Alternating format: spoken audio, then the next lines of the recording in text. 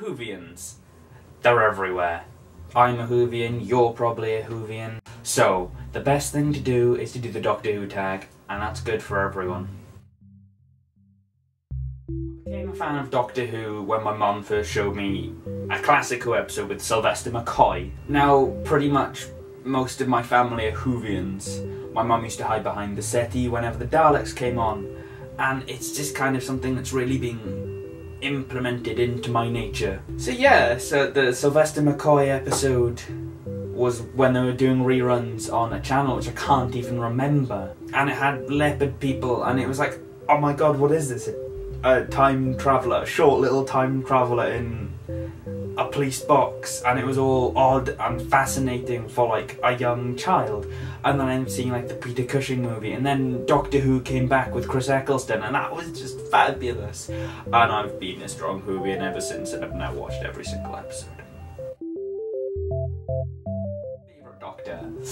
That's a difficult question. Can I split this up into New Who and Classic Who since I feel like that's a lot easier then? Like New Who, hands down it's gonna be David Tennant because no other Doctor in New Who compares to him, really.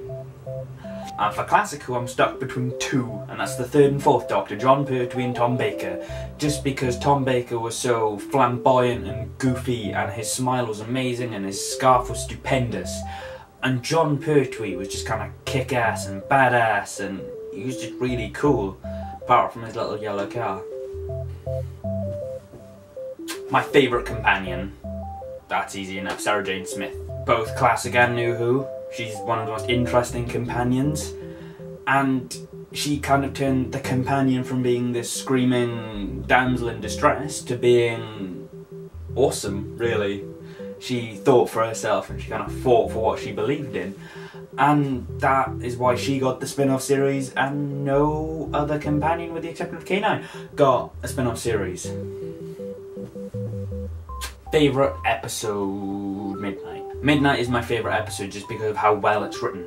It's just genius. It's kind of taking the Doctor out of his comfort zone, which is weird for a Time Lord who's lived for so long. But you take the Time Lord, the Doctor, out of his comfort zone. He loses his greatest weapon, which is his voice. And that's a little bit terrifying, really, isn't it? The, the, the saviour of the universe is slowly being beaten by a creature which is archaic, which is unevolved. And it's just a really interesting dynamic for an episode. It's kind of creepy as well, it's just in this one room. And, of course, Colin Morgan's in it, who is Merlin. And then the saviour of the episode is a person whose name we're not even told. And it's so daunting. Wasp and the Unicorn. Don't like it. Just bad a lot of fan service. Like, oh look, it's Agatha Christie, the thing he mentioned ages ago. It's just a bit of a naff episode, really. Though I do also have a dislike for Girl in the Fireplace. Not because it's a bad episode, but because of the placing of it. It comes right after school reunion, where the relationship between Rose and Ten is set up.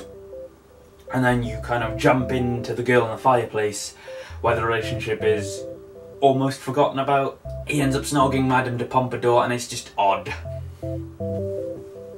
Least favourite companion. Most people say Martha here, but I like Martha. Martha was kinda cool. If I was gonna choose a least favourite companion, it is gonna be Clara, because Clara is boring and beige. She's just a dull character who seems to be superior whilst not being superior, and it's just, she's Blair. Uh, I don't know. It's just no. I don't like her. I don't know why either, because I like Jenna Louise Coleman. But Clara, I don't like. Do you know who I'm going to blame for this? Moffat. If I was given the chance to be a companion, I, I would be kind of a fun companion, I think. Just not really taking anything seriously, just enjoying myself and seeing the wonders of the universe with my camera and taking a lot of pictures. Instagram pages full of space and the future. A final frontier. Wait, no, that's the wrong thing. Would I be able to fill an Instagram with that? It could be like a rule not to do that, though it could be like, oh, look, I'm really good at CG, this isn't real, and it actually is real, and I'm just kind of rambling now.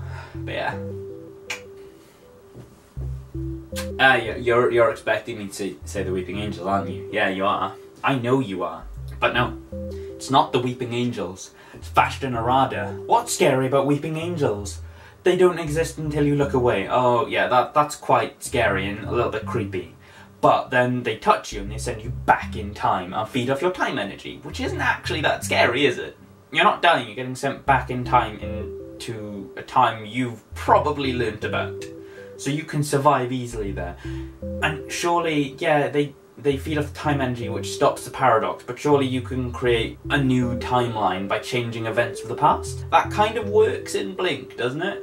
Because kind of things are normal until she goes back to the past and then she alters the way things happen. Though I'm, I suppose you probably ultimately get to the same goal, right?